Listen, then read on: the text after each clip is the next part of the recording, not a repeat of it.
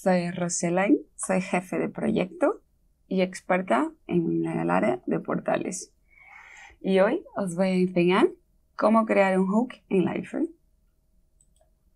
Y si tú eres nuevo en el mundo Liferay y nunca has escuchado sobre un hook, os presento una breve explicación. Cuando hablemos de hook, nada más es que una inyección de código en el, producto, o sea, en la plataforma, en cosas que ya vienen de caja. Ahora en la versión 7.2, que es lo que vamos a aprender un poco aquí, en teoría ya no, técnicamente ya no existe hook más, pero cómo conseguimos seguir y hacer cambios en comportamientos de la plataforma, podemos seguir llamando hook si os gustáis, ¿no?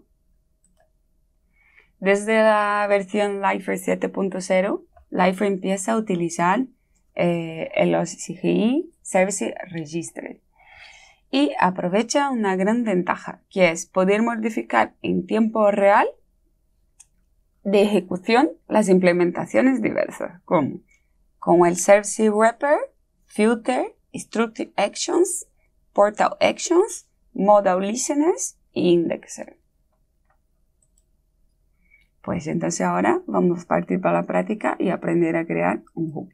Vamos a hacer un override de un servicio. Creamos un hook para el servicio de usuarios del portal, que sería el User Local Service.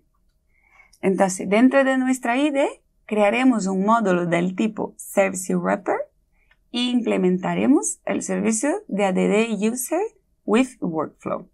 Vamos a verlo. Abrimos nuestro Eclipse. Si no tenéis el entorno de, de instalación, el entorno de desarrollo instalado, podéis ver en una otra videoclase que estará aquí abajo cómo instalar el entorno de Lightframe. Ahora iremos crear nuestro Lightframe Model Project. Vamos a dar el nombre de User al proyecto. User Servicing Hook para mantener el patrón de nombre. Eh, validar que la versión estáis correcto.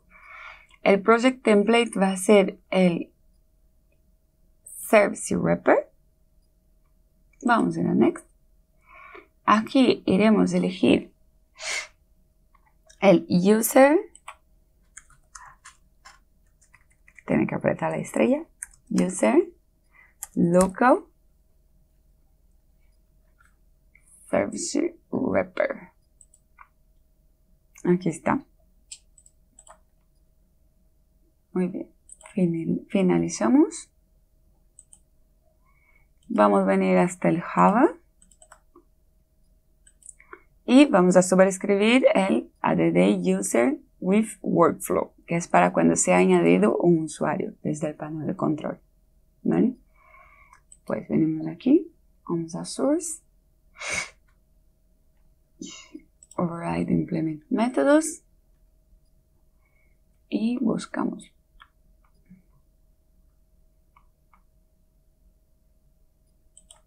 Muy bien. Damos al OK. Entonces, aquí, quitamos el to y lo que iremos a hacer es la variable que recibimos, last name, vamos a añadir un xx y cambiarla en la entrada del retorno. ¿Para qué? Antes de ser persistido en la base de datos, yo estoy cambiando el dato de entrada. Tengo aquí, para que el vídeo no se quede tan largo, ya el código.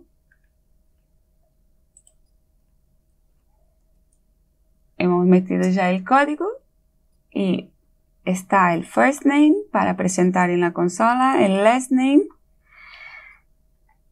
Y vamos a hacer entonces un concat en el last name de la XX, un sysout de lo que vamos a añadir.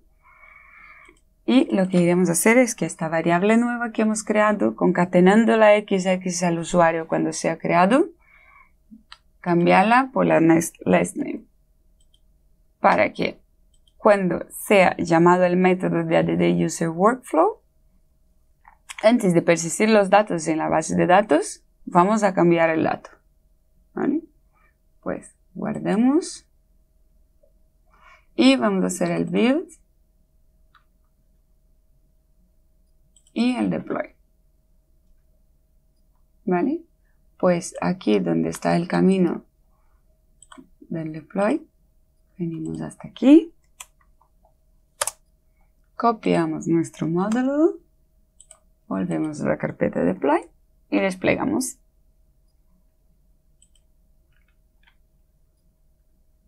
Ya está empezando a desplegar, podéis ver en, los logs y iniciado. Pues iremos venir entonces hasta el panel de control, user, user in the organization. Vamos a crear un usuario. Vamos a llamarle mini, mini, arroba lifery.com. Last name, mini mouse. First name, mini. Y vamos a guardar. Ahora, cuando venimos al last name, vemos que la XX ya está en el last name porque ya hemos hecho la llamada del método, hemos cambiado el dato de persistencia y Lifer siguió por lo demás camino que ya tenía preparado. Muy bien, ya tenemos nuestro primer hook de un servicio que viene de caja. Ahora lo que iremos a hacer entonces será sobreescribir una JSP. Lo que iremos a hacer es que crearemos un hook, ahora más conocido como fragmento de página, para el login. Para eso vamos, eh, vamos a utilizar el login.jsp. Por eso anteriormente en la clase de, que teníamos de instalación del entorno, yo digo que es bueno siempre tener el código fuente del portal descargado, que sería el source. Porque así ahora recuperamos la JSP y podemos hacer solo el cambio que sea y mantener el comportamiento, ¿vale? Pues dentro de nuestra IDE vamos a crear un project fragment y sobreescribir entonces esta JSP. Pues ahora lo que iremos a hacer es entonces sobreescribir el, la JSP del login y para eso vamos entonces a crear un Live Remodel Project de fragment. Decimos aquí que es un login web fragment. Damos este nombre.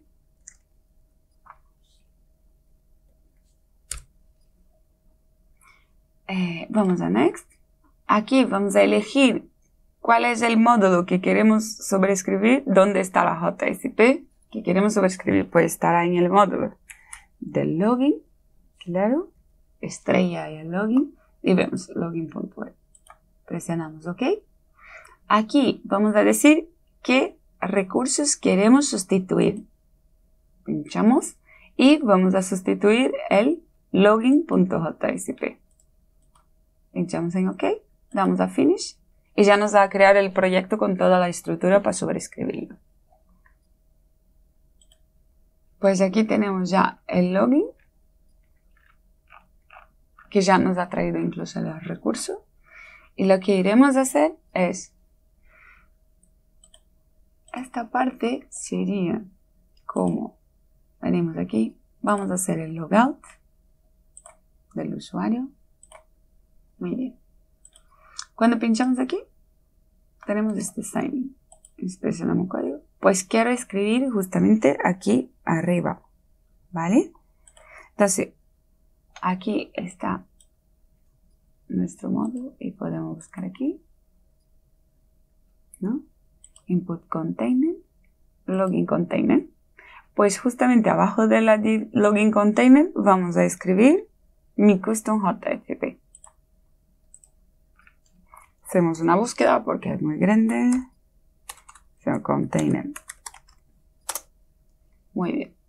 Pues aquí abajo vamos a añadir una P para párrafo. Hacemos mi custom login HTTP. Muy bien. Mm, lo guardamos. Venimos aquí en Gradle Tasks. Y vamos a hacer el build. Y el deploy. Muy bien. Ahora cogemos en módulos nuestro deploy.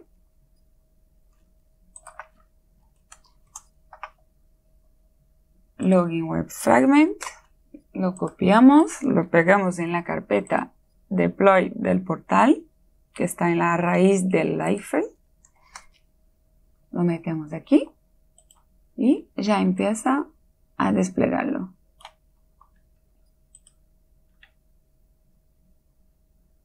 Muy bien, según eso ya está arrancado. Vamos a venir aquí y actualizar. Cuando se trata de la JSP, hay algunas veces que no coge el recurso a la primera entonces es necesario reiniciar el servidor. Vamos a ver si tenemos suerte. Pues sí que hemos tenido suerte y aquí está la JSP sobrescrita. Podéis dar el estilo que queráis. Bueno, nuestra videoclase de cómo crear un hub se acabó. Espero que hayáis disfrutado. Y para querer saber y conocer más sobre Lifer, os recomiendo ver las videos clase aquí en la URL al siguiente.